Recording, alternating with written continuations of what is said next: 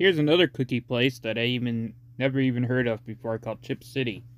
Chip City was founded in 2017 by Peter Phillips and Teddy Galeaz in Queens, New York. Their plan is to have nostalgic, sweet treats and to expand beyond the northeast of the United States.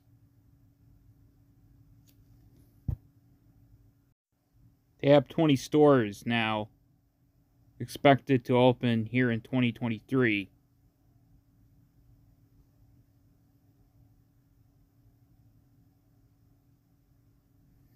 This looks a lot like Insomnia Cookies and Crumbl Cookie as well, as well.